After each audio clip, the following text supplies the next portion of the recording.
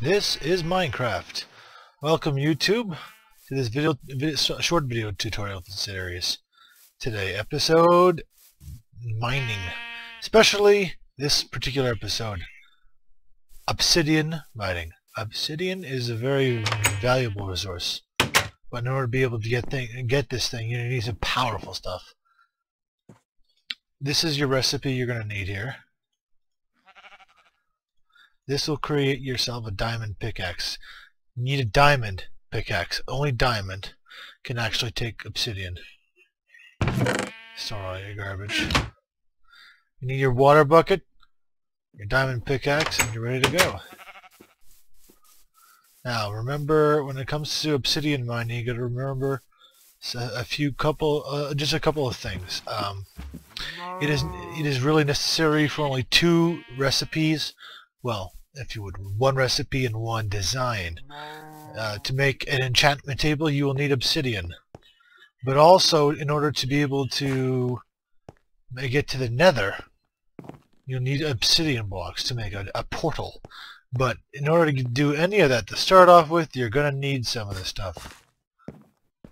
I will see you at the portal. Alright, you found your pool of lava which you would, would you turn into obsidian with your water.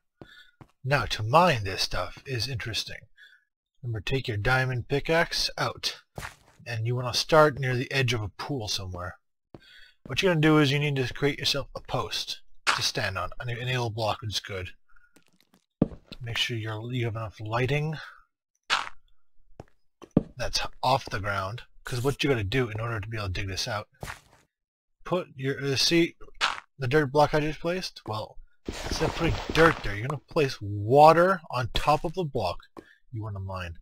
Don't worry about everything else. You want to be able to mine the block under, just under the water, because it's likely that you're going to have lots of lava underneath these blocks and then as soon as you mine it, remove the water. Because remember one simple fact when it comes to mining obsidian. Water flows faster than the blocks can travel, then lava spreading. Water is the fastest. So you want to you want to place your yourself water around, and you want to be able to mine out the blocks this way, having the water source block uh, right near in the area, because you can see the water spread out and filled in this gap way before uh, the block started moving. This is your, how you're going to do it because if there's lava underneath, this water will cool off the lava way faster than actually this. And remember, when you're obsidian mining, you need to be able to be, as, uh, be assured you're not going to be interrupted because this takes a lot of focus and concentration. Make sure your area is lit well enough that you can continue working without stopping because stopping to fight monsters is not an option. And so, now, he, he, I suggest you need a minimum of 14 blocks. Some people say maximum, but no. In order to build and make the two th items you need in this game that require obsidian, you will need uh, you'll need minimum of, of 14, a maximum of 18. Well, and in this instance, I will make I will get you 18 and we'll see you back on the surface. Before I actually hit the surface, I wanted you to see this. This here was the ravine you saw in last episode. They're very dangerous and very lucrative for this lava reason. Some of them are actually covered in lava floorboards covered. But the good thing is they go all the way down, which can be dangerous as well as very good all at the same time to the amounts of ores further down, see? So if you have enough courage and lava and, and, and buckets of water on you, you can get really rich really quickly. But remember also, it's dangerous because of the enemies that spawn and you're always going to be in the dark. Just remember that when it comes to these things. Alright, so you got yourself back home and you're like, alright Gold Fox, I got my stuff, now what? Well, in order before, you proceed with uh, your crafting recipes, you're going to need to find yourself this stuff. Sugarcane. And you're going to need some leather, which you get from those guys, cows. And what, now what you do with all this. Well remember, one's a recipe, one is a structure. You're going to need to create in a row like that, paper. You'll need at least three paper to uh, for this recipe to work here. In order to make a book, which you will need, to create this recipe you'll be making lots of books in order to be able to get further into this and further and further into this game. But this particular uh, recipe here, two diamonds, four obsidian blocks, and a, and a book.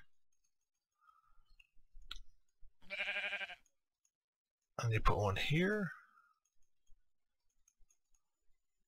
Boom. Enchantment table. Now this is definitely necessary for making your weapons and tools powered. I'm going to put this aside for now.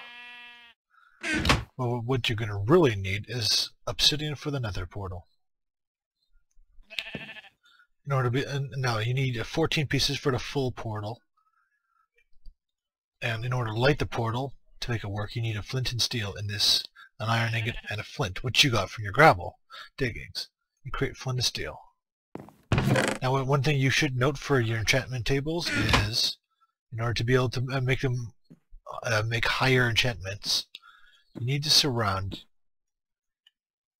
bookshelves around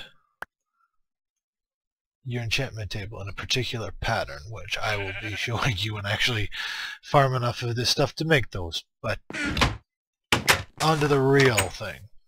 Now note when making a portal to the nether, you want to be um, giving yourself lots of room away from your house. The portal makes a lot of noise. Noise that can be very annoying. Now, this is as good a place as any on the edge of the island. Now, what path you will be making I was showing you a pattern here. Two, three.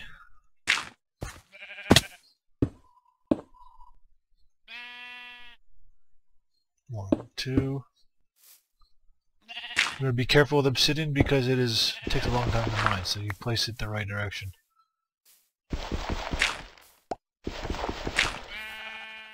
Now, I'll clear this up so you can fully see this. See that pattern?